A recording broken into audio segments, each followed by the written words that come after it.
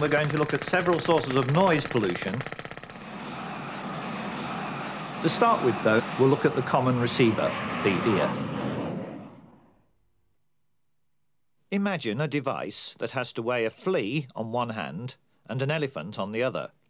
We'd need something capable of extreme sensitivity, yet at the same time extremely rugged. This is what we expect of the human ear.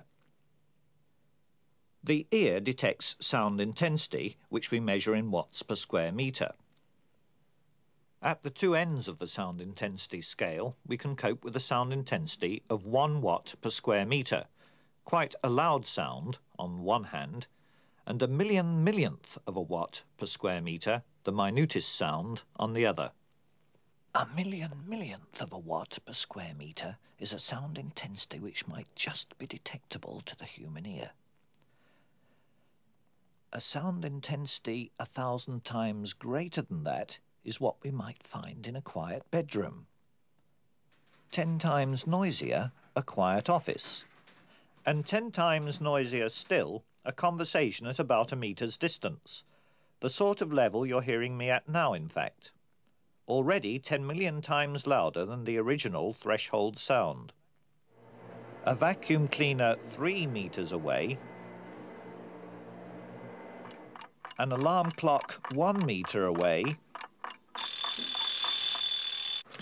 a road drill seven metres away,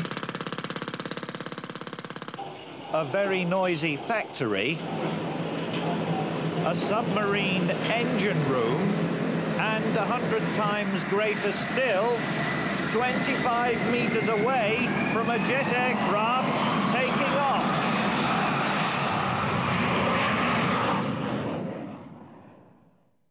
This range is vast. In fact, to show it all at once, we need a TV screen of cosmic proportions.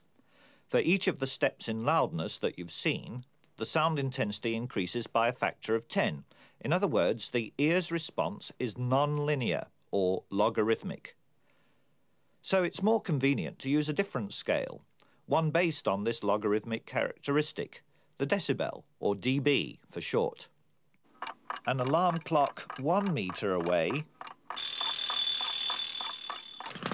a road drill seven metres away, a very noisy factory, a submarine engine room, and a hundred times greater still, 25 meters away from a jet aircraft taking off. It's these really loud sound levels that cause most problems for our hearing. The outer ear collects sound waves and directs them via the ear canal onto the eardrum.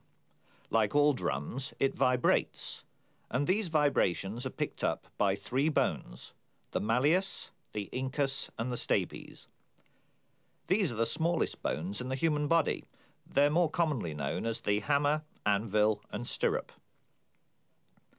These three bones in turn vibrate the cochlea, where they're converted to nerve impulses, which then travel along the auditory nerve to the brain.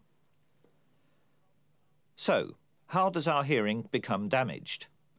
The answer lies deep within the cochlea. Attached to the auditory nerve are some 25,000 receptor cells. Each of these cells is covered in tiny hairs. It's these hairs which respond to the movement of sound waves.